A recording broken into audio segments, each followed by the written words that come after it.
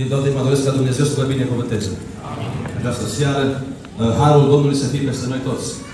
Dragii mei, este bucurie să poți fi dumneavoastră și în această seară, haideți să stăm înaintea Cuvântului Dumnezeu. Însă depinde de noi foarte mult dacă vom lua aminte la Cuvântul Domnului. Vedeți, Domnul ne vorbește.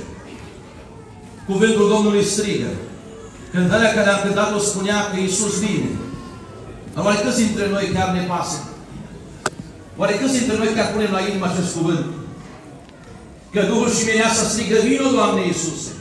Și cuvântul Domnului spune că aceia care așteaptă și au această nădejde în ei, în 1 Ioan, capitolul 3, Oamenii aceștia fac ceva, spune cuvântul Domnului în felul următor, 1 3, cu versetul 2, previsul a fost de copii lui Dumnezeu ce vom fi. Nu s-a arătat încă, dar știm că atunci vom, când se va arăta El, vom fi ca El. Pentru că îl vom vedea așa cum este. Și așteptăm lucrul acesta, amin? Oricine are nădejde aceasta în El, nu doar cântă, nu doar vine la slujire, nu doar vine la biserică, oricine are nădejde aceasta în El face ceva. Ce face? Se curățește, Doamne ajută-ne! Pentru că nădejdea care o ai în tine nu te va lăsa să fii nepăsător. Nepăsarea este boala bisericilor de azi. Nepăsarea este cană celor pocăiților de astăzi. Și într-o zi se uita Apostolul Pavel la Timotei și spunea Timotei, ceva se întâmplă cu tine. Timotei, ceva se întâmplă cu viața ta. Și îi scrie Apostolul Pavel aceste cuvinte care le-am citit în această seară și le-au citit frații. 1 Timotei, capitolul 4, versetul 14. Nu fi nepăsător. Într-o vreme în care parcă nu ne mai mișcă nimic. Într-o vreme în care suntem obișnuiți cu știri, cu accidente, suntem obișnuiți cu războaie, suntem obișnuiți cu oameni omorâți, suntem obișnuiți cu toate lucrurile rele. Vine cuvântul Domnului și spune lui Timotei, Timotei, nu fi nepăsător. Văd astăzi nepăsarea din nefericire de multe ori este la loc de cinste. La cuvântul Domnului strigat din prologul Amos, așa de trist, așa de dureros, Amos, capitolul 6, versetul 1. Vai de cei ce trăiesc fără grijă, unde? Că nu le scrie celor din birduri, celor pierduți afară. Vai de cei ce trăiesc fără grijă în Sion, dar cum se poate asta? Așa se poate. Nu fi nepăsător. Nepăsarea în ziua de astăzi, în rândul fraților, în rândul surorilor, în rândul tinerilor, este așa de mare. Și Apostolul Pavel de se la Timotei a spus, Timotei, parcă văd că dorința ta, râvna ta scade. Mi se pare că mă uit la tine și văd că nu mai ești cu aceeași inimă. Timotei, ascultă-mă, nu fi nepăsător. În această seară aș trebui să vorbesc despre altceva, dar uh, frații au pus acest cuvânt și rămân la acest cuvânt, cred că e de la Duhul Sfânt și sub călăuzia Duhului Sfânt, pentru că Domnul vrea să ne învețe ceva, să nu mai fim nepăsători. Inima noastră a ajuns să se răcească. Inima noastră a ajuns să se împietrească. Cum spuneam aseară la tine, din cauza păcatului nemărturisit, ajungem cu inima împietrită. Scria într-o zi Apostolul Iacov, în capitolul 4, Versetul 4, suflete prea formare, nu știți că prietenia lumii îi vrăjmășie cu Dumnezeu? Versetul 7, supuneți-vă dar lui Dumnezeu. Apropiați-vă de Dumnezeu. El se va apropia de voi. Curățiți-vă inimile păcătoșilor. Curățiți-vă inima oameni cu inima împărțită. În această seară îți pasă când Domnul îți vorbește strigat Duhul Sfânt și strigat Cuvântul lui Dumnezeu prin Apostolul Pavel lui Timotei. Timotei, nu fi nepăsător. Și vreau să ne uităm mai întâi în viața noastră personală. Putem să fim nepăsători în viața personală. Când striga aici Apostolul Pavel, îi spunea de lui Timotei, nu fi nepăsător de darul care este în tine. De ce trebuia să facă Timotei cu darul acesta? Când dați o pagină în dreapta, 2 Timotei 1 cu 6. De aceea ți-aduc aminte să înflăcăresc darul lui Dumnezeu care este în tine. În seara aceasta ai venit în casa Domnului, soră, frate care ești aici tânăr. Ai venit cu dorința aceasta să înflăcăresc darul lui Dumnezeu? La rugăciune care ne-am rugat, ai lucrat să înflăcăresc darul lui Dumnezeu care este în tine. Nu este opțiune, este porunca lui Dumnezeu. Înflăcărează. Îți aduc aminte că tare uităm și noi tineri ca și Timotei. Și nevoim Pavel să spune Timotei, Timotei, vreau să nu uiți lucrul ăsta. Trebuie să înflăcărezi darul care este în tine. Trebuie să nu fii nepăsător. Trebuie să nu ne obișnuim așa cum venitul la biserică. Vine la biserică, mai trec două ore, iar vine fratele la strig acolo, se agită, plecăm acasă, facem tot ce vrem noi. Nepăsare. Nu fi nepăsător de darul care este în tine. Mă întorc la Matei, capitolul 7, unde citeam și nu să și-am învățat tinerilor să asculte însă orice om care e înțelept de aici și spune Biblia că se face mai înțelept. Matei, capitolul 7 spune că cine aude cu aceste cuvinte ale mele, așa că noi auzim în seara asta, și le face, îl voi asemăna cu un om cu judecată care și-a zidit casa pe stâncă. A dat ploaie, au venit și boaile, au stat vânturile, au bătut, ea s-a prăbușit, ea nu s-a prăbușit. Însă oricine aude aceste cuvinte ale mele și nu le face, va fi asemănat cu un om nechipsuit. Cum este omul nechipsuit? Mai dacă el, și aici dumneavoastră mulți bucați în construcție și știți ce înseamnă asta? Dacă nu știi cum se face o casă, păi te puși și întreb. Sau cel mai normal este, dacă nu știu, eu când am făcut casă la, la Buzăna Nevoiu, uh, nu m-am pus să fac eu casă, că nu știam să o fac. Nu lucrez în IT, programare, nu știu să o eu casă. Și am cerut ajutorul unor oameni care mi-au făcut casă și am găsit și au făcut casa. Mai bine sau mai puțin bine, fiecare cum reușește. Uh, omul acesta nechimsuit, nu l-a interesat. Nu le m-a pus să fac și eu casă. Dar știi să o faci. Dar știi cum se face. A, mă descurc eu. În uh, aceeași pildă, în Luca, spune cuvântul Domnului, în capitolul 6, la care înșel, ne-a dus și câteva explicații în plus de la versetul 46. De ce îmi ziceți, Doamne, Doamne, și nu faceți ce vă spun, ce spun eu? Vă voi arăta ce se aseamănă un om care vine la mine, aude cuvintele mele și le face. Se aseamănă cu un om care, când a zidit o casă, a săpat adânc înainte și secretul acestei case a fost că după ce a săpat adânc, a așezat temelia pe stâncă. Au venit șuvoaiele, au venit vărsările de apă, au lovit, dar ea a rămas în picioare, n-a putut să o catene, pentru că era sărită pe stâncă.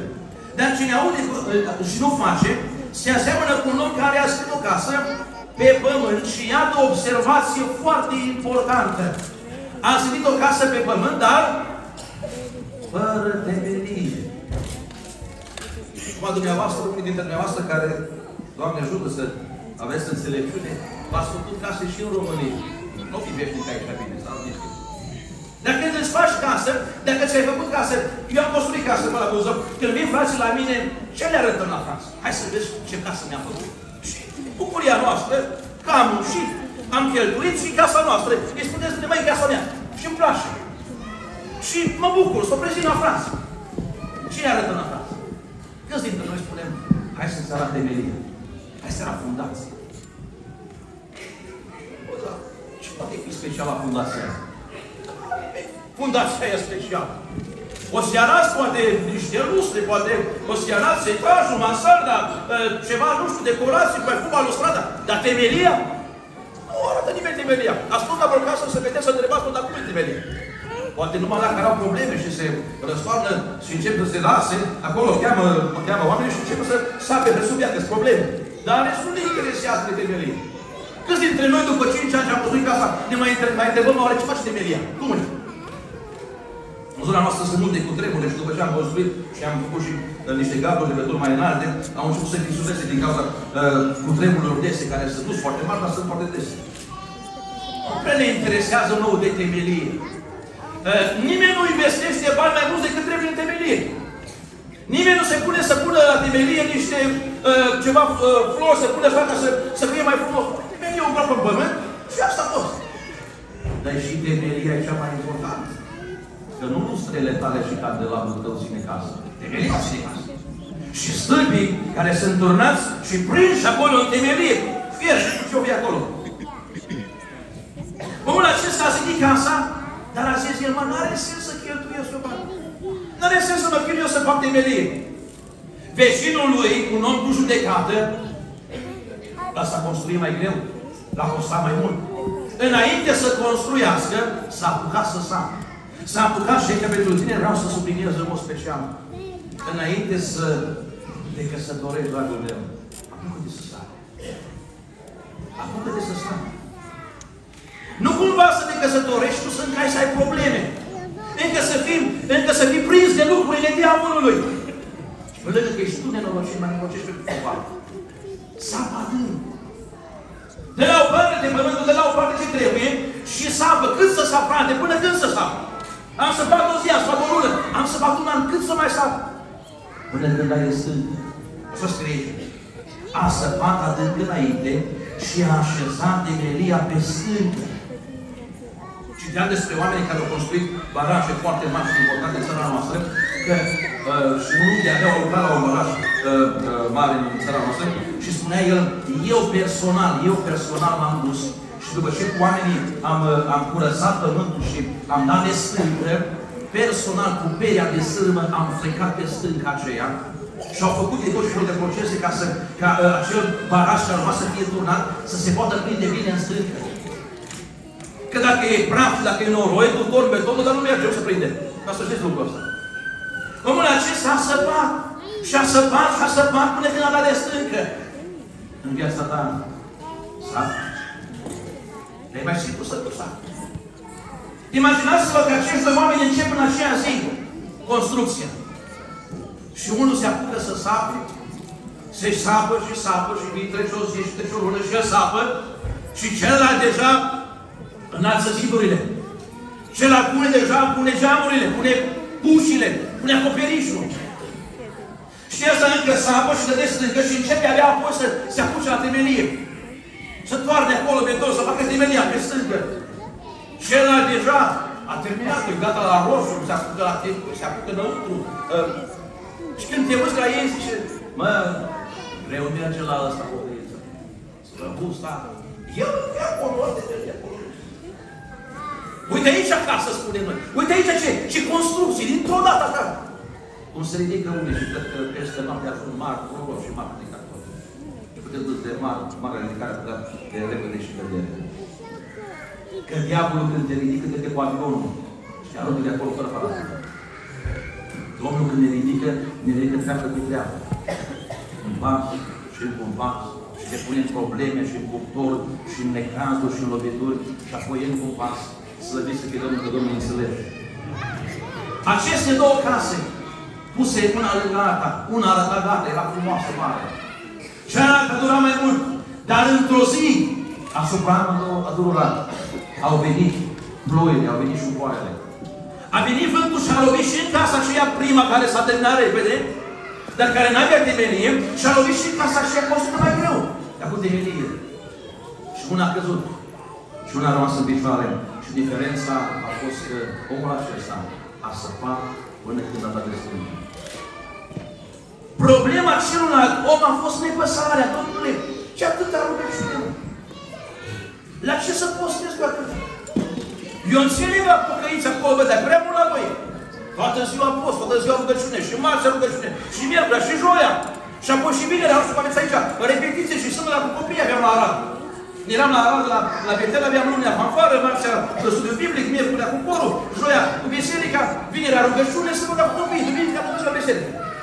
Prea de tot, domnule. Mă duc și la fotbal. Mă duc să fac și treburile mele.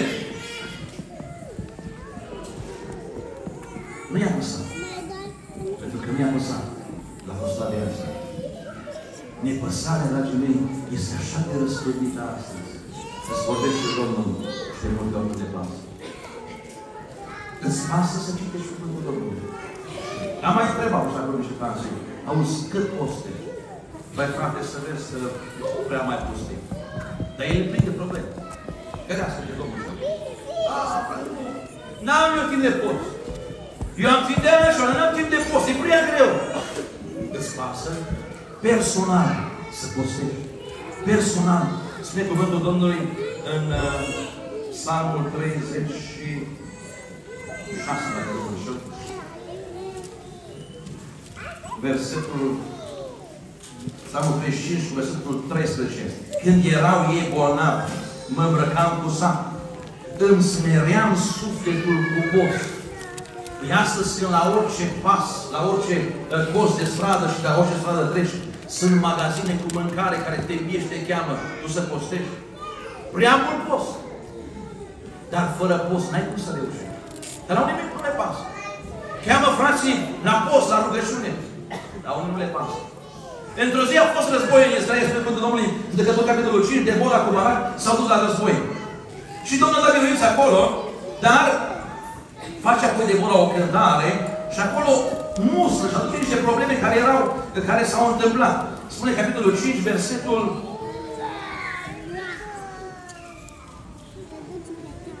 15. Mai mare lui Sahar a fost cu Debora și Sahar venit cu Barak a fost trimis pe, urmă, pe urma lui Nebale. La păraiele lui Ruben au fost mari hotărâri. Pentru ce rămas în mijlocul scaunelor s-a scos pe găitul turmelor? La păraiele lui Ruben mari au fost faptele. Au trimis la seminția lui Ruben să le spună, veniți la război că avem de luptat. Și i-au spus, noi, noi mergem la război, dar mai întâi să facem sfat. Și au chemat pe toți și au făcut sfatul și s-au sfătuit și au făcut planuri de război și atâta s-au sfătuit până trecut război. Că asta ne spune Debora. Ce am aflat în staulele tale? Sunt, când se anunță uneori post în biserică. Se anunță luptă, în săruință cu biserică. El e la pe găitură, la lucru. Are trei jocuri. Nu are timp de stăruință. Nu are timp de post. El nu are timp să pună umărul la biserică. Pentru ce ai rămas, spune aici? La Corneliu mi-au fost mari hotărâri. La următorul post vin și eu. Când faceți următoarea rugăciune, să mă chemați că vin și eu. Și când îl sun, la următoarea misiune, frate, vin și eu în România. Și când îl sun, frate, stai să vezi, acum am luat o mâncare și nu pot. Dar el a hotărât. O hotărâre înaintea Domnului și înaintea fraților. Zero. Mai departe au fost alții, spune versetul 17. Galadul de dincolo de Iordan nu și-au părăsit locuința. Pentru ce a stat Dan pe corăbii? Ăștia erau plecați, nu vacați. Spune la despre Așer. Așer a stat pe malul mării și s-a odihnit la limanurile lui Iabus. Iabus. Poporul lui Dumnezeu e la război și Așer e la plajă. El e în vacanță. Îmi aminte când m-am lăsat la noi într-o biserică, o săruință, și am stat vreo două săptămâni că s-au spus înainte și niște frați s-au pus la pescuit. Să meargă la pescuit. Eu nu știam. Eu am s-a stăruit. Până la săruință. Și când văd, băi, mă, patru, trei, patru, frați, n-au fost la săruință. Și întreb, dar unde-s frați? Păi, ești la pescuit. Auzi? E mai important pescuitul. Frate, acum face pește, după aia mai trage. Pentru unii e mai important. Și zice asta. Este nepăsare. Frații la rugăciune, Domnul pauză. Domnul să-i ascult. Eu mă duc în treaba mea. Așer, spune, a stat de malul mării, s-a odihnit în limanurile lui. Ți-ai programat vacanța, poate în România sau undeva, poporul Domnului dintr-o minte cauză, intră în post, intră în rugăciune, intră într-o luptă. Dar frate, îmi pare rău că se plecă. Nu le-am avut în de zile. Ne pasă? Ne pasă să simțim? Îți pasă să fii prezent? Știu un caz și era un caz, am fost personal la un astfel de caz în care uh, familia aceea nu mergea la niciun mormântare. Nu mergea la mormântare. Frații, de uneori, de doi, trei frați acolo, se chinuiau, cântau, ei nu aveau bine. Știți că a făcut Domnul lucru când a murit unul dintre ei, dintre părinți? Au fost foarte puțin la montare. Nu că frații n-au mai făcut să meargă. Așa au fost lucrurile, n-au făcut să meargă. Când Domnul te cheamă să pui umărul sub sarcina altuia, pui umărul. Sau spui, frate, acum am făcut cafea. Acum mi-a pus la mașină. Nepăsare. Nu ne mai doare. În vremurile din urmă sărăcit dragostea, nu ne mai doare pentru cele de Domnul ne cheamă să nu fim nepăsători.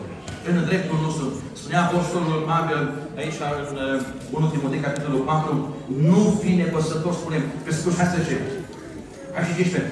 Puneți pe inimă aceste lucruri, îndelenicește totul cu ele, pentru ca înaintarea ta să fie văzută de toți. Am înțeles că este stăruință. Hai să vă întreb. Veți fi la stăruință? Odată am anunțat la noi de că stăruință cu o lună jumătate înainte sau două luni. Și am spus, fraților, pe dată cu tare și pe stăruință, avem stăruință, toți care doresc din la stăruință.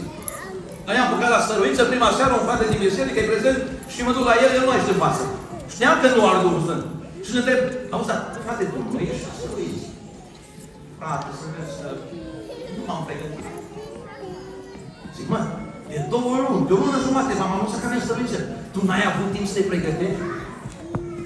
Asta nu este că n-ai avut timp. Asta este nepăsare.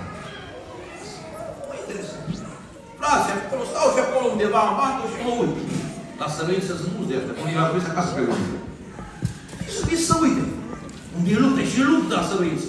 E nevoie să pui umărul, să te rogi, să mijlocești, să înflăcărești arul. Unii n-au nicio problemă. Doamne, sensibilizează de inima sărașească. Să nu cumva să fim nepăsători. Fecioarele, spune cuvântul Domnului Matei, capitolul 25, că erau cinci înțelepte, cinci de înțelepte și cele înțelepte pe lângă, zice versetul 3, cele nechipzuite când și-au luat candelele, n-au luat cu ele unde lemn, dar cele înțelepte împreună cu candelele au luat cu ele și unde lemn în vase. Și acum eu vă întreb, pentru cine a fost mai ușor dintre cele 10 feșoare să umble în întâmpinarea mirelui? Pentru acelea cinci care aveau doar candelele sau pentru celelalte cinci care aveau și candelele, dar mai aveau pe lângă și ce vase? Așa merg unii pe calea Domnului. Cu mâinile îmbuzunate. Vă sunt un, un cuvânt pentru un frate la noi, în zonă. Și la Domnul, te-am văzut, te-am fratele, o rota cu gândirea, te-am văzut, mergeai pe calea Domnului cu el. Nu am nicio treabă. Nicio treabă. Păi e mai ușor să mergi în întâmpinarea mielor cu candela. Și s-au gândit ele, măi, miele nu o să întârzie. Nu mai luăm undele, că n-are sens. Mergem doar așa cu candela, să ne ajunge. Și tocmai pe mine le-am întârziat. Îți pasă să strângi undele? Știți că Domnul a vorbit că vine ziua în curând, când nu se mai vinde undele? Nouă lucrare am auzit mai multe, în care Domnul a spus, încă puțină vreme se mai dă undele. Îți pasă să iei undele? Sau spui, Domnule, mi ajunge, eu am câteva cuvinte în altă limbă, e suficient, nu trebuie mai mult. Cele cinci chipzuite, pe lângă candelele care aveau un de lemn în candelă, au luat și în vasele lor un de lemn. Acum nu mai am timp să explic ce înseamnă asta, dar pot să vă spun ce înseamnă foarte pe scurt. În primul rând, înseamnă să veniți la stăruință. Înseamnă să fii primul la stăruință. Tu boteza cu Duhul Sfânt de ani de zile. Să fii primul aici. Doamne, am nevoie să vă umpli. Înseamnă să spese. Când frații se roagă și plâng. Era o poezie frumoasă Știa mai trecut, dar n-am mai făcut și am uitat-o. Dar spune, ă, când, când frații se roagă și plâng, tu stai ca o stâncă de piatră. Ca stâncă, mereu în tăcere. Doamne, dă-ne inimă de care să simțim. Se vinde un de lemn. N-ai vrea să vii și la săruință, să iei un de lemn? N-ai vrea să faci curățenie în viața ta? Când cuvântul Domnului îți vorbește, îți pasă să spui viața în rânduială? Era odată uh, Ahab mergea la război cu Iosafat, Iosafat a greșit, pentru că nu trebuia să meargă la război cu Ahab. Dar spune cuvântul Domnului în 2 Cronici, capitolul 18, în versetul 9, că împăratul Israel, citeți mai sus, după ce toți prorocii au prorocit, nu știu istoria, toți au prorocit că uh, să meargă, că Domnul este cu ei, uh, Iosafat a răspuns, mai este un om prin care ar putea să întrebăm nu știu pe, pe Domnul? Și îi spune împăratul la Ahab, da, mai este unul. Dar îl urăsc. Auziți? Mai este un om prin care am putea să întrebăm pe Domnul. Ahab recunoaște că Domnul vorbește prin el. Dar zice, îl urăsc, căci nu prorocește nimic bun. Când vine un proroc și Domnul îți vorbește, care este reacția ta? Ură sau smerenie și nu pocăiesc? Când vine un frate și te trage de mânecă, frate, nu-i bine ce ai făcut. Frate, puneți viața la rânduială. Care e reacția ta? Ahab recunoaște prin mic că vorbește Dumnezeu. Am mai putea întreba pe unul, dar nu-l urăsc. Și spune că ce nu prorocește niciodată decât rău. Pe ce să-ți prorocească Domnul? Că tu ești rău. Să spună că ești copilul Domnului când tu ești fiul diavolului? Îl trimite, spune să nu vreau să-l trimite să-l aducă și vine Mica, deși el spune acolo înaintea Sfântului care a fost trimis, Fiul este Domnul, că nu voi vorbi decât ce va spune Domnul Dumnezeu. Când ajunge în fața lor, spune uh, aceeași cuvinte ca și ceilalți, uh, suiți-vă că și veți avea parte de izbândă și vor fi dați în mâinile voastre. Și Ahab ar, ar fi putut spune, măi, ai văzut slăvit să fie Domnul. Dar Ahab știa că ceva nu e regulă. Știa că ceva nu e regulă. Măi, niciodată mica nu a fost așa. N-are cum să spună mica mie că o să am biruință. Și îl întreabă Ahab pe mica, zice, împăratul zis, de câte ori va trebui să-i pot să jur că nu vei spune decât adevărul numele Domnului. Și atunci mica îi spune, auzi, am văzut, văzut că Israelul pe mulți, ca niște ochi la păsor. Și Domnul a zis, oamenii aceștia n-au stăpân, fiecare să se întoarcă în pace acasă. Împăratul a zis lui Iosafat, nu ți-am spus eu, el nu îmi prorocește nimic bun, nu îmi prorocește decât rău. Și apoi mica dă dăvășirea și știți ce s-a întâmplat. Când Domnul îți vorbește, îți pasă să spui viața în Dumnezeu. Și aseară, și azi dimineață, și acum seara, Domnul ne vorbește. Spune cuvântul Domnului în 2 Cronici, capitolul 11, cu unul Corinteni, capitolul 11, legat de masa Domnului. Fiecare să se cerceteze dar pe sine însuși și așa să mănânce din pâinea aceasta. Îți pasă să te cercetezi. Pentru că unii nu se cercetează și intră într-un chip nevrednic, Domnul este nevoie să ia, nu ia, să ia măsuri. Și spune, din pricina aceasta, între voi mulți neputincioși și bolnavi. Am, ați auzit despre oameni care spun, frate, nu pot să postez. Mă doare capul. Unii numai când anunță fratele păstor sau slujitor, mâine avem post, pe el, dar cum le doare de capul? Deja îmi doare capul. Postească, frate. Îți pasă să spui viața Îți pasă și clădești la tineria vieții tale. Îți pasă pentru familia care o vei întemeia. Îți pasă să gândești ca Dumnezeu, să privești ca Dumnezeu. Dragii mei, ne cheamă Dumnezeu să ne peste El. Să ne peste de cuvântul Domnului. A fost dat, dacă nu mă știu, de Deuteronom, capitolul 17, o lege pentru împărat. Trebuia ca în fiecare zi împăratul să aibă asupra lui ce? Legea lui Dumnezeu. În fiecare zi trebuia să o citească. De ce? Ca să nu uite că nu decât un om și Dumnezeu îi stăpân. Și spune acolo să n-aibă mulți cai, să n-aibă un număr mare de, de ostași, ca să nu-i se îngâmfe inima. Spune cuvântul Domnului Iosua, capitolul 1, versetul 8, care de aceasta alege să nu se depărteze de gura ta. Cuget asupra ei zi și noapte, căutând să faci tot ce este scris în ea. Căci atunci vei izbândi în toate lucrurile tale și atunci vei lucra cu înțelepciune. Hai să spun și asta. Ai probleme financiare? Vă dau cea mai bună carte de economie. Cea mai bună carte de economie. Scrisă de unul care știe cea mai, cea mai bine economia. Cartea Proverbele. Când zice acolo, de exemplu, mai nu te pune chezaș pentru ce pentru fratele tău. De ce să pierzi casa și fac de sub tine? Și vine și spune, frate, hai ajută. Dar uite, sunt așa, hai pune-te. Și știu că a pierdut și familie cu nouă copii. Au pierdut apartamentul și au rămas în stradă. Pentru că a semnat pentru un împrumut. Ne pasă de cuvântul Domnului. Și sunt multe alte lucruri, nu mai am timp acum să intru.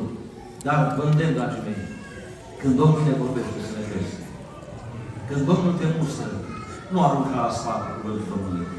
Lasă Domnul să-ți vorbească și Dumnezeu te va binecuvânta. Amin.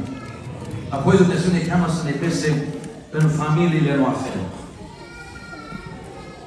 De exemplu, în ce privește frații. Și haideți să mergem la noi care suntem tați. Și eu sunt tată și am 8 copii și este o provocare în fiecare zi să creștem acești copii și dumneavoastră la fel. Îți pasă, de exemplu, de ce fac copiii tăi? Tu știi ce prieteni au copiii tăi? Spune cuvântul Domnului în uh, 2 Samuel, capitolul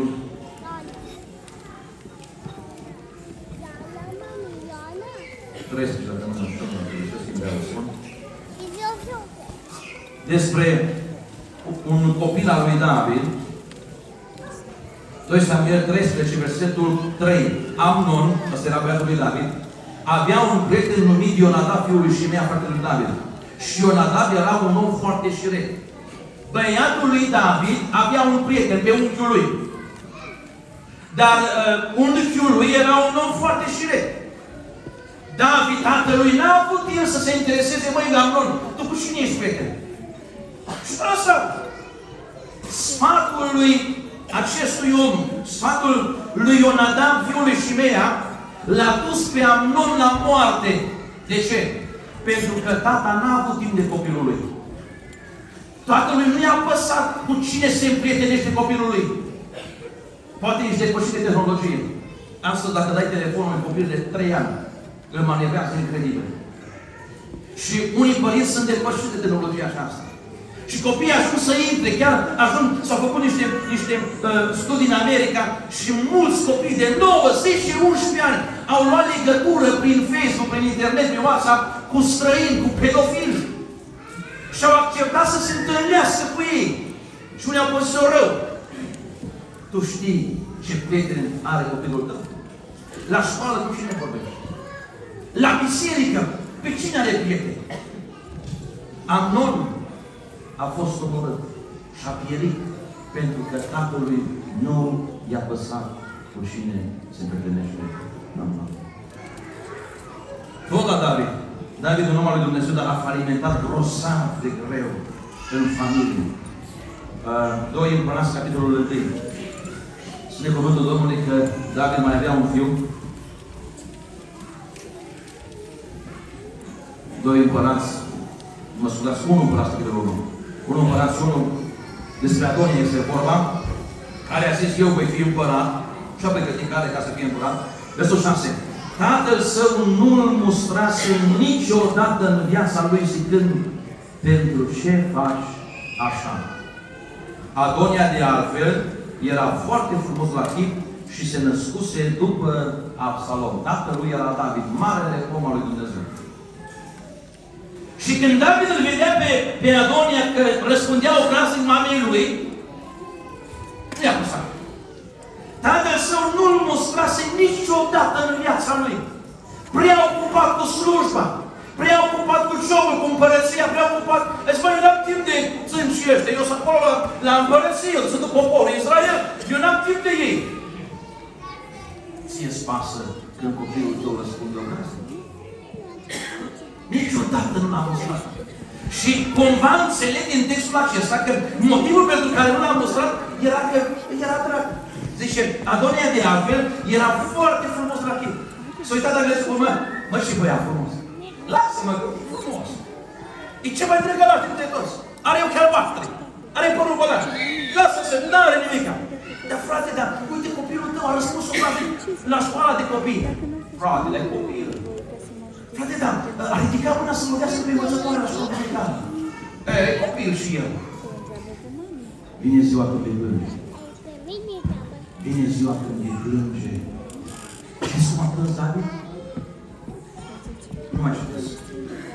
Într-o zi, chiar, chiar aici, haideți să chiar aici, când este omorât, când este omorât uh, Adonia și apoi când este omorât Absalom.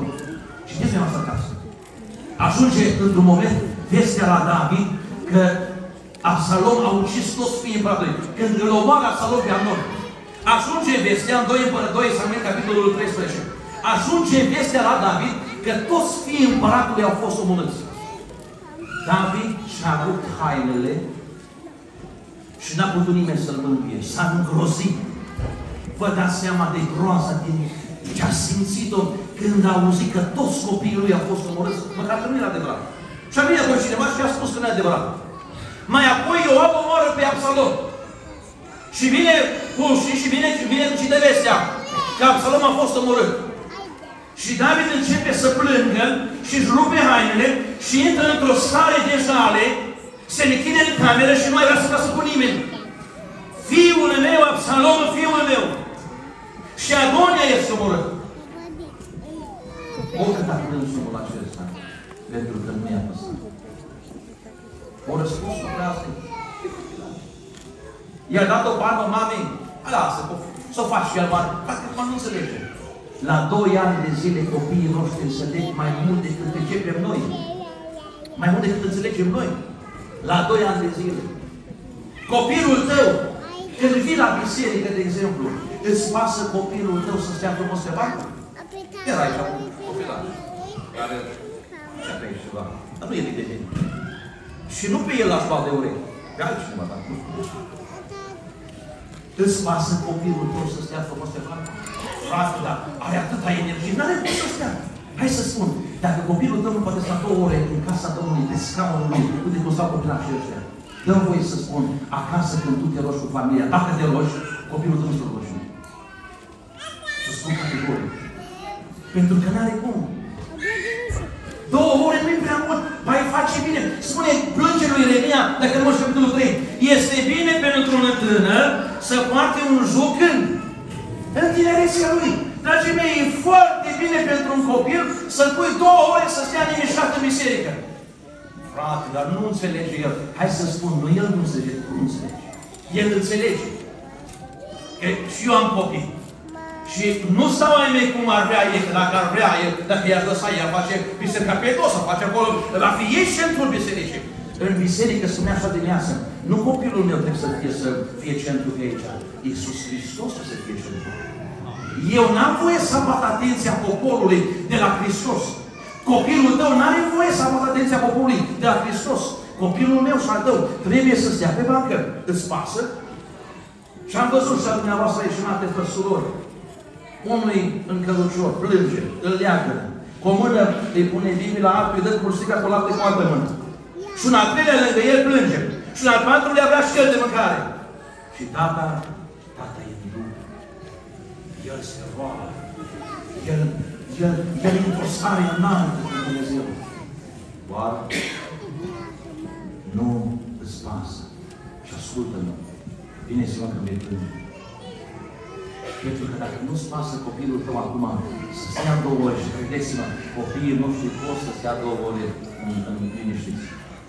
Este bine să înveți asta. Dar astăzi nu mai poți să le faci nimic. Că ăștia nu te lasă mai treci cu unul iau. Ferească Domnul să mai... Hai, hai să spun și astăzi, și nu am avut în plan să vă spun lucrurile astea. Spune Biblia, pedepsește fiul, dar nu doi să omori. Spune Biblia, nu cruța nu iaua. Și noi ce spunem, frate?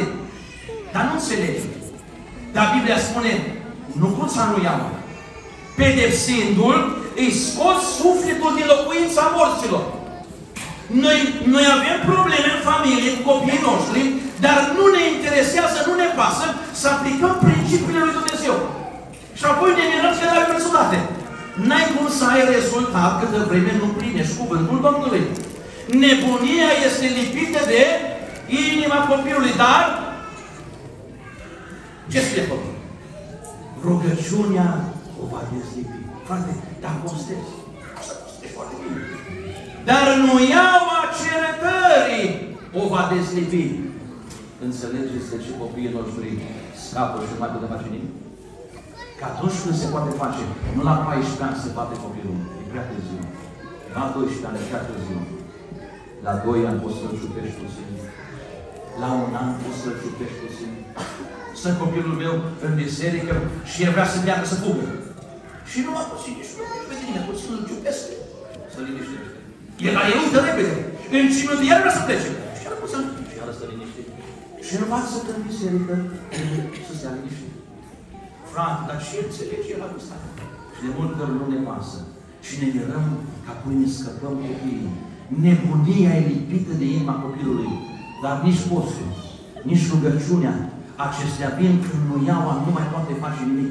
Dar când nu iaua poate face. Zice Scriptura, pedepsește copilul și el îți va da o dignă. Dragi mame, am văzut multe mame așa de obosite, așa de determinate, am văzut mame așa de, de slăite de putere. Și culmea, fost să noi o dată într-o familie, o, o, o familie și Ei nu mai pedeseau pentru că erau în Germania și ce s-a întâmplat și cu familia Furdui și așa mai departe. Nu pedeseau copilul. Și am văzut, n-am crezut, n-am crezut să crezi așa. Mama se ruga de un copil de 2 ani. Dar te rog frumos, de 3 ani, te rog, mănâncă. Dar te rog frumos, mănâncă.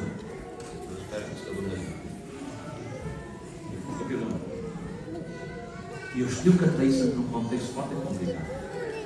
Dar nu cumva pentru financiar să ne pierdem copiii. Încă în România mai pot să iei mâine am slăvit să fie Domnul. Și dacă la noi, la, la nevoiul căsătoarele, încă trag de urechi, într-o zi, a zis și mi-a spus copilul că o tras în starea pe unul de urechi, nu pe acela. Ca luat Și am zis, slăvit să fie Domnul. Dacă mă să doar încă îi trag, avem și nevoie să mai dăm de unul. Înțelepciunea lui Dumnezeu are efect dacă o aplicăm. Dar noi spunem, le știi mai bine. Eu pot să Domnul să ne dea înțelepciune. Eu știu că trăiesc într-un context greu în care nu putem face ce vrem noi copii. Dar Domnul să vă dea înțelepciune. Și n-aștepta până când e prea târziu. Vino în sală, du-te în vârful muntelui, că nu are nimeni treaba. Ia nu iau acolo din... Dar nu la 14 ani e bota și uva și rups din aia. Nu, la 2 ani, la 3 ani, cât de puțin și Doamne ajută să fie bine. Uh, în familie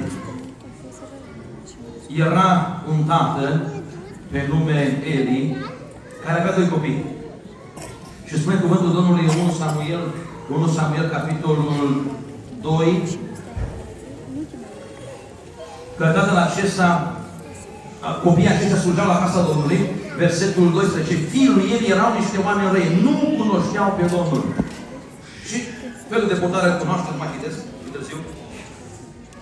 17.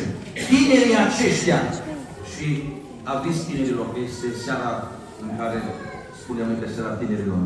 Tinerii aceștia se făceau vinovați înaintea Domnului de un foarte mare păcat.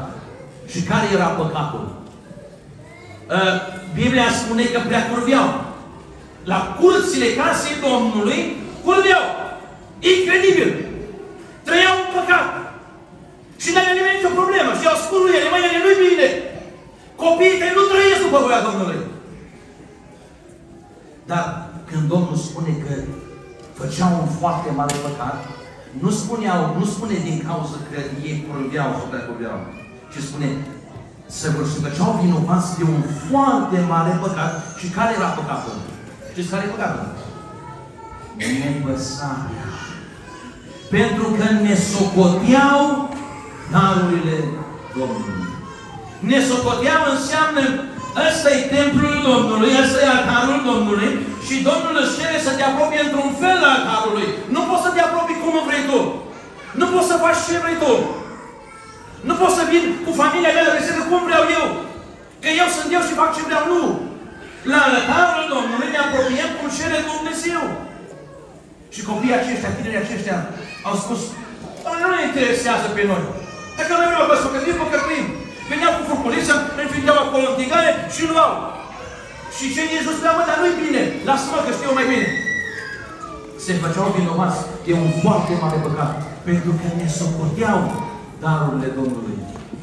Îți pasă de darurile Domnului?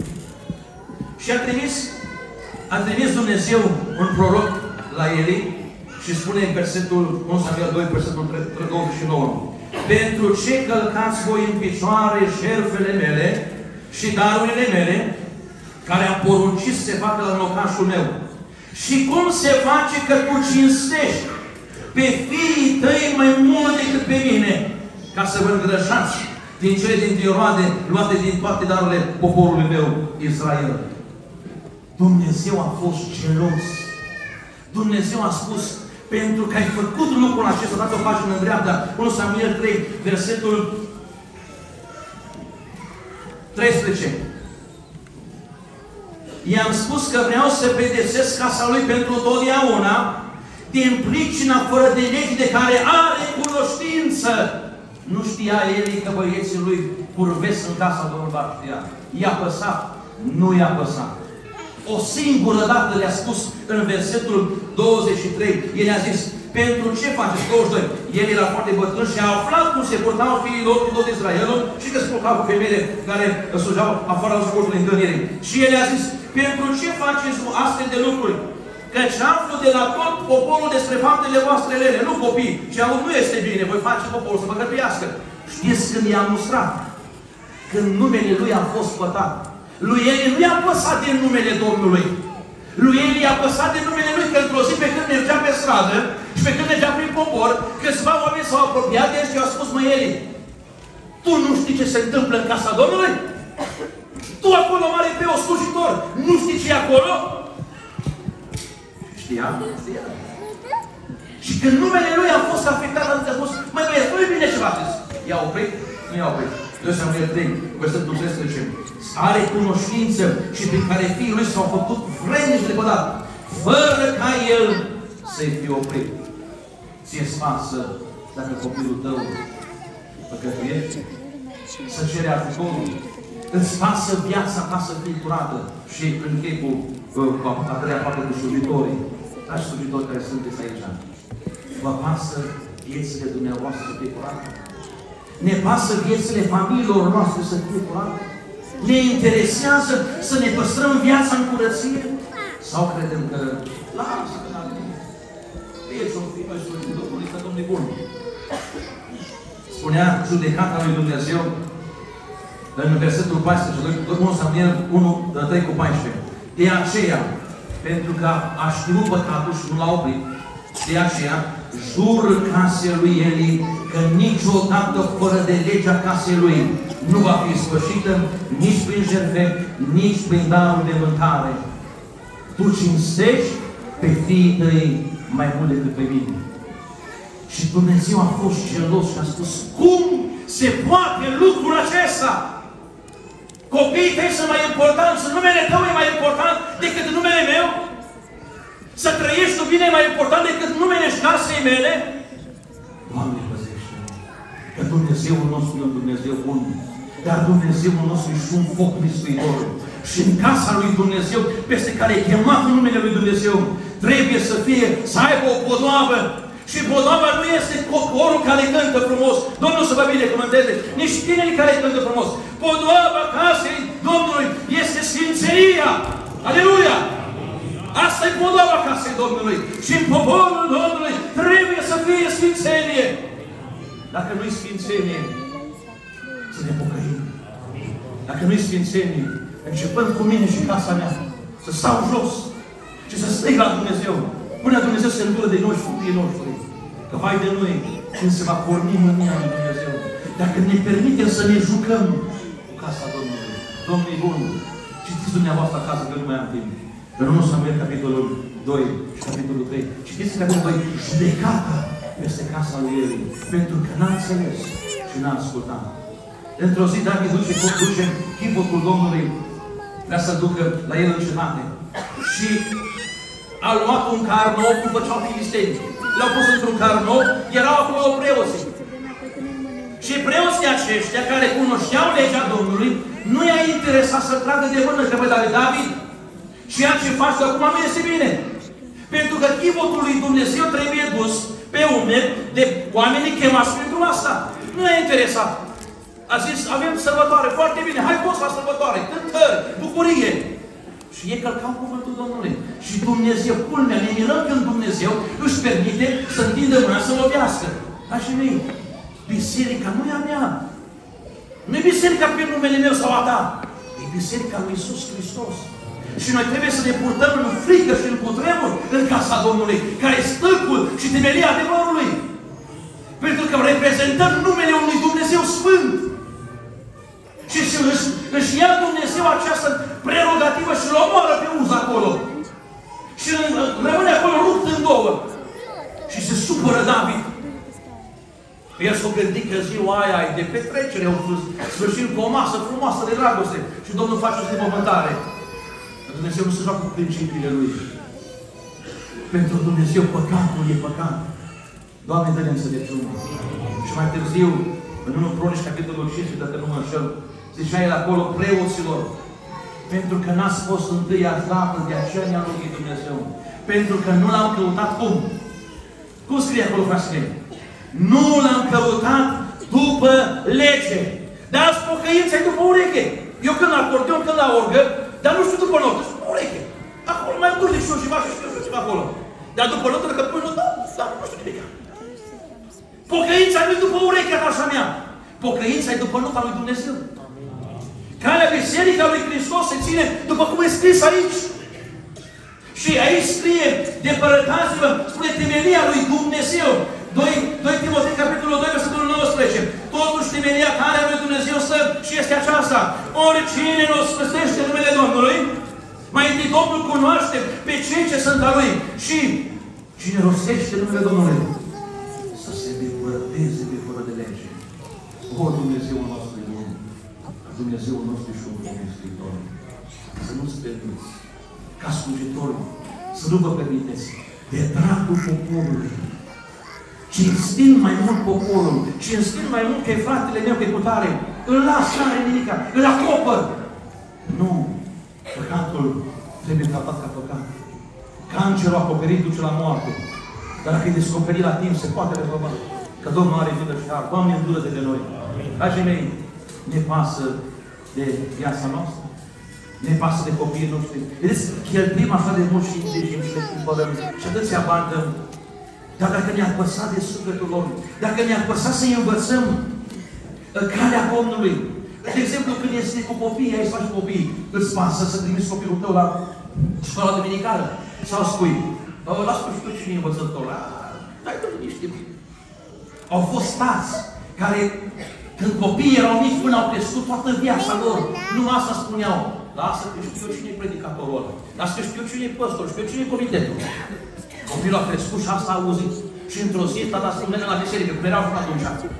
Și copilul a spus, frate, eu nu mai merg biserică. Cum să nu? Nu mai merg. Păi tu ai spus că ăla e așa, ăla e așa, ăla e așa.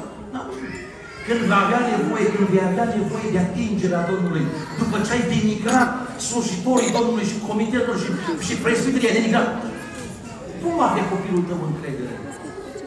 Să ne pese de familiile noastre.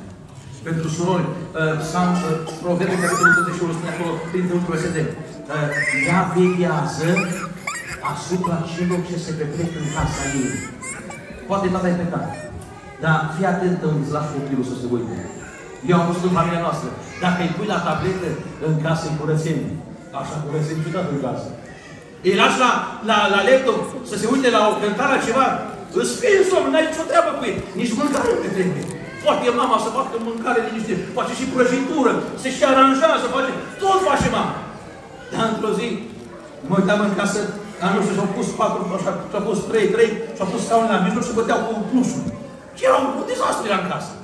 Și am soția, auzi, dacă mai bine să fie decât să fie curat. Dacă tu e curățenie, eu știu că ne liniște mai. Și eu spus, sunt undeva, sunt de la ceva. Ne pasă la ce sunt de copiii noștri. Îți pasă ce să petrece casa ta. Doamne, dă-ne înțelepciune. Și în ultimul rând să ne pese de casa Domnului. Este casa lui Dumnezeu. Să păstrăm sfințenia lui Dumnezeu. Să veghem. Și dacă într-o zi intră Ozia și trece peste cuvântul Domnului și vrea să aducă tămâie și el nu are dreptul să aducă tămâie. Doamne, ajută să fie 80 de preoți. Au fost acolo 80 de preoți care au spus, Ozia, nu-ți este îngăduit să faci lucrul acesta. Dacă faci lucrul ăsta, nu vei aduce cinste lui Dumnezeu. Nu ți-e îngăduit. S-a mâniat. Și de să te Și când s-a mâniat, i-a spunit lepra pe el și toată viața lui a fost lepros. Dumnezeu nu se joacă cu sfințenia casei Lui. Este podoabă sfințenia casei Domnului. Să o păstrăm și Domnul să ne binecuvânteze. Dragii mei, la final acum vreau să ne rugăm Domnul Iisus. Dorim ca Dumnezeu să, uh, să lucreze în viața noastră această, această atenție, se numește veghere, să veghem asupra casei noastre, asupra nouă asupra poporului Domnului și mâna lui Dumnezeu să fie peste noi. Mâna lui Dumnezeu să fie peste noastre. Amin? Amin. Hai să ne în picioare, să ne rugăm Dumnezeu.